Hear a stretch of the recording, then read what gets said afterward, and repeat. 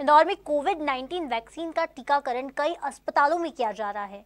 Doctor तरुण गुप्ता का कहना है कि तकरीबन सात प्रतिशत से ज़्यादा लोगों का टीकाकरण किया जा चुका है और टीकाकरण की प्रक्रिया अभी भी जारी है।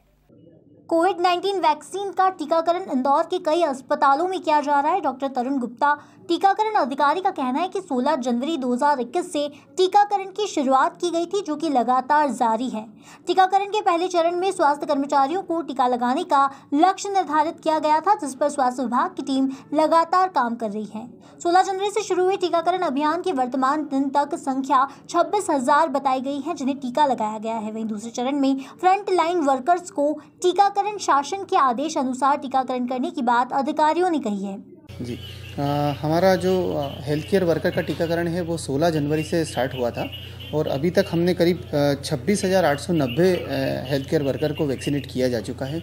इसके लिए करीब हमारी अभी जो लास्ट हमारा सेशन हुआ था करीब 105 जगह हमने किया था जिसमें कि 105 टीमों ने अलग अलग एरियाज़ में हमने उन्हें वैक्सीनेशन किया था। तो करीब हम जो हमारा काफ़ी जो टारगेट था उससे 60 परसेंट को हम अभी तक अचीव कर सके हैं। इसके बाद सेकंड फ़ेज़ में हमें फ्रंट लाइन वर्कर का वैक्सीनेशन करना है। जैसे कि हमारा जो हेल्थ केयर वर्कर का जो वैक्सीन था, वो यूज़ हो गया और उनका जो सेकंड डोज है, वो हमने रिज़र्व किया है। इसके लिए जो थोड़ी जो आवश्यकता है, हमने वो राज्य शासन से बोल दिया है, वो हमें उपलब्ध हो जाएगी।